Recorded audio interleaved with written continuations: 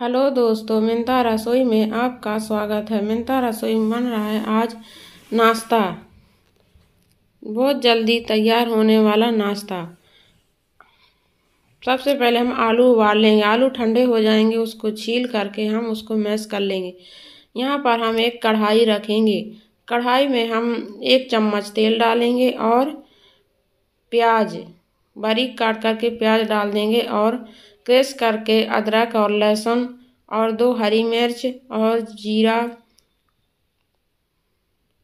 डाल देंगे। थोड़ी सी सौंफ डाल देंगे और इन्हें एक मिनट तक भून लेंगे।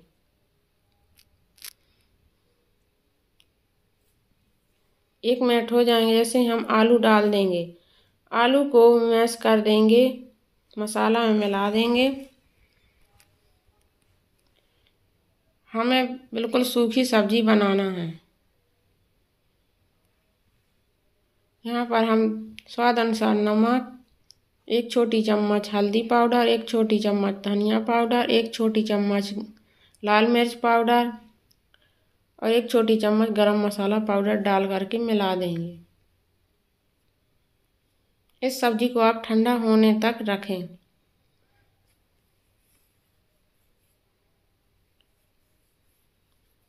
अच्छे से उसको मिला दें।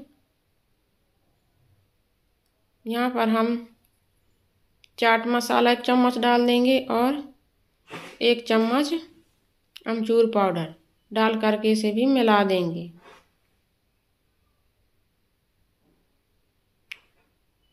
अब हम बारीक कटी हुई धनिया पत्ती डाल देंगे और इसे भी मिला देंगे।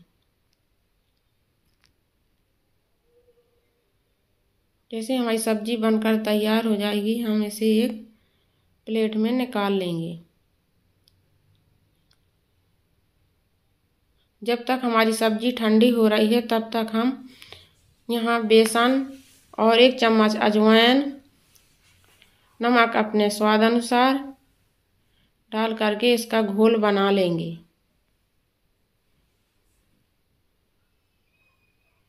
घोल बना करके रख लेंगे। एक बार ज़रूर बनाइए आप नाश्ता मेरे तरीके से। अगर आपने मेरे चैनल को अभी तक सब्सक्राइब नहीं किया है तो मेरे चैनल सब्सक्राइब कीजिए, जिससे मैं कोई भी रेसिपी डालूँ तो उसकी नोटिफिकेशन आपको सबसे पहले मिले। हमारा घोल बनकर तैयार हो गया है।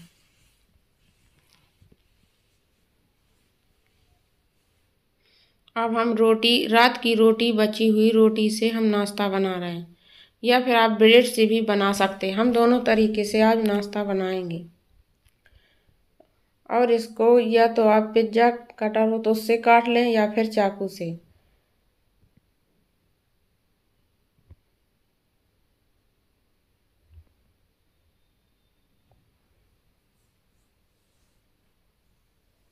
हम छोटे छोटे पीसेस काट लेंगे।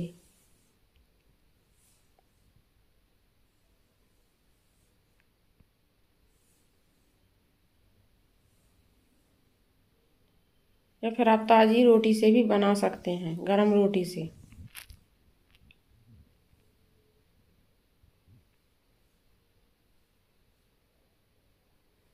अब हम अपना मिश्रण हमारा ठंडा हो गया है, अब इसमें हम भर देंगे। चम्मच से या हाथ से, बिल्कुल जब ठंडा हो जाए तभी आलू की सब्ज़ी इसमें भरें और बेसन में डुबो डुबो करके तल लें। ऐसे ही हम पूरी अपनी रोटी को भर लेंगे।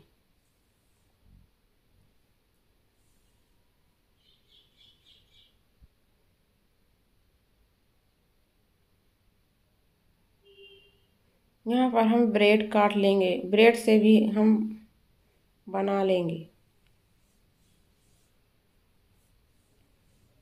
इसमें भी हम आलू भर लेंगे।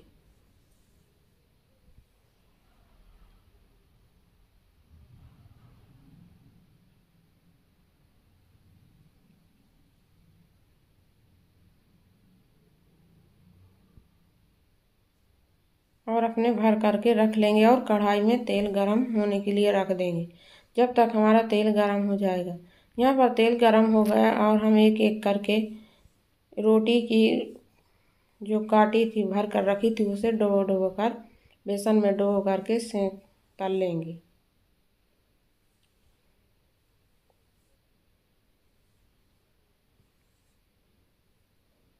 ये नाश्ता खाने में भी बहुत टेस्टी लगता है। बच्चे भी बहुत चाव से खाते हैं।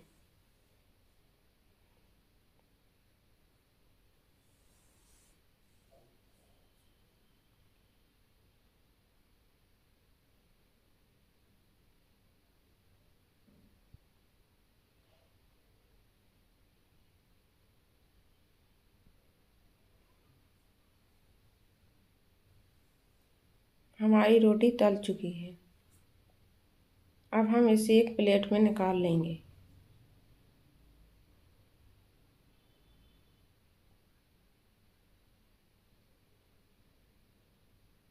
ऐसे ही आप ब्रेड को भी डुबो करके बेसन में तल लें।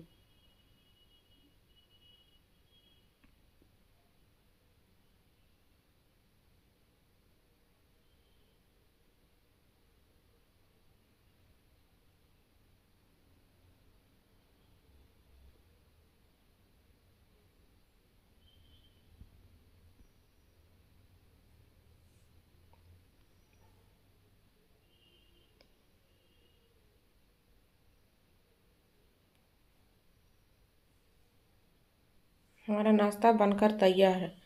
आप भी बनाइए और खाइए, अपने बच्चों को भी खिलाइए। वीडियो देखने के लिए धन्यवाद।